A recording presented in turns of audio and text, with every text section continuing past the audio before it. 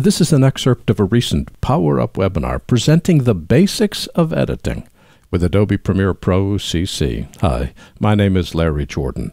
In this excerpt, I'll show you how to adjust audio levels.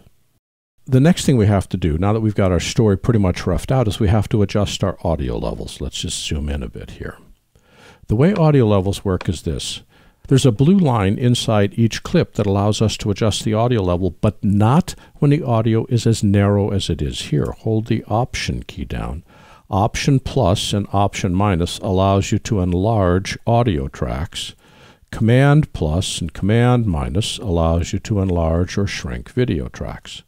Once you make the audio track larger than the smallest size, one, two, three, three times larger, this white line appears. It's actually light blue. If you grab it and drag it, I can increase the gain of the clip up to 6 dB.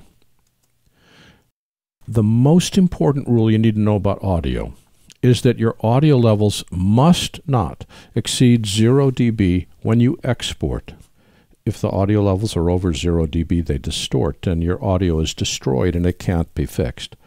Audio levels must not exceed 0 dB when you export. When you edit, doesn't make any difference. When you save the Premiere project, doesn't make any difference. When you export the Premiere project, it does. Although we don't want our audio levels to go over zero, that's too loud most of the time for most noise regulations. You want to have your audio of the full mix bouncing between negative 3 and negative 6.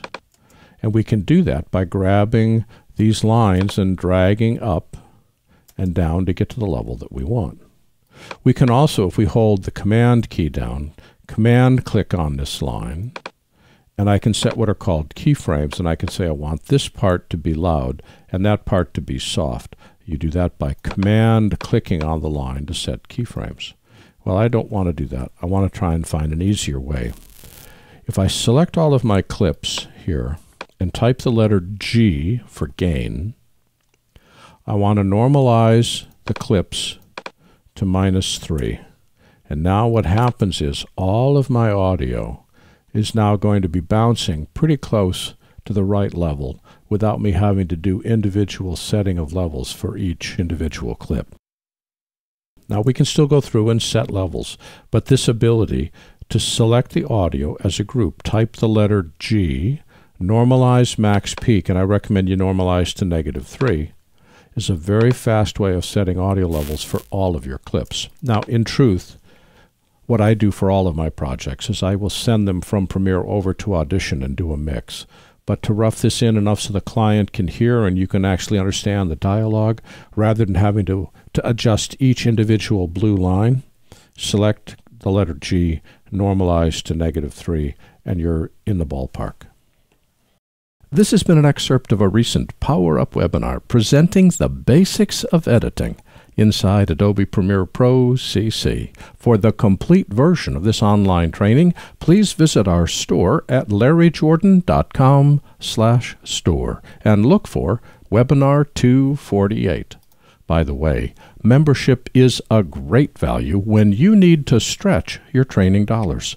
Membership in our video training library saves you money and time. You can access all of our videos for a low monthly price of only $19.99.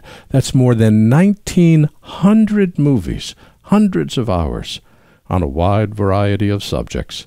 Plus, premium members can download practice media and projects. Our training covers Apple and Adobe software. We update it multiple times every month. And for more information, visit larryjordan.com slash membership and thanks.